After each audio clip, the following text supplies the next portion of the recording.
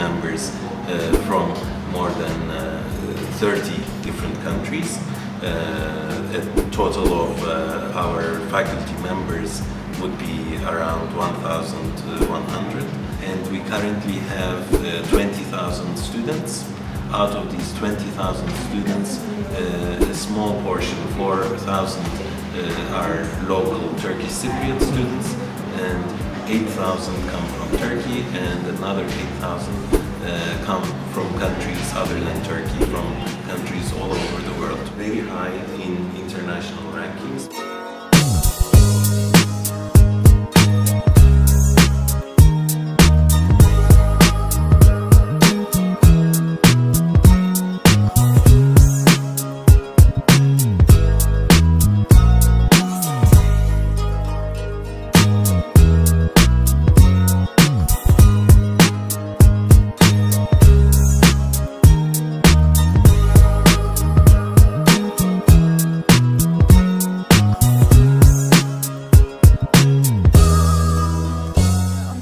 2010 we established the social media unit. I started the units uh, in order to implement faster news dissemination actually for the students.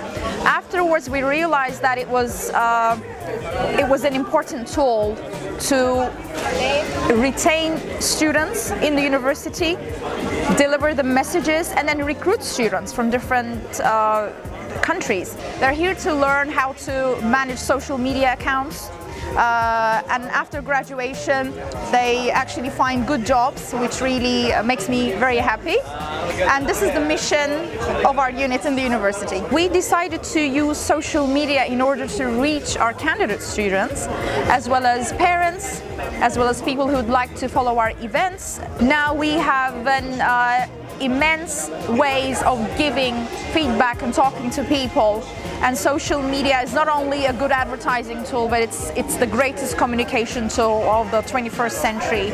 I don't know where it will go but I think it's going to a good place and I I really like to show how is it developing to my students.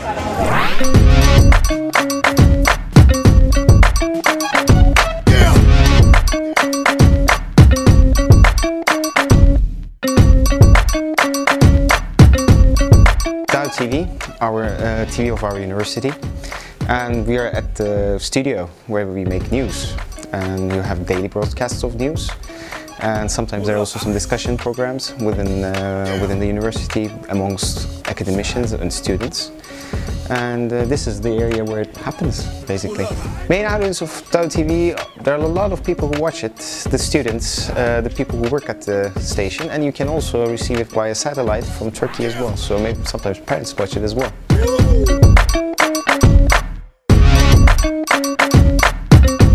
Students from the communication department, the radio TV department, they come here and they get uh, they can come uh, freely and they can train on these uh, machines and in the studio to make themselves already ready for their future businesses. You can work in the studio with the cameras, you can work with the audio, you can also work upstairs in the radio.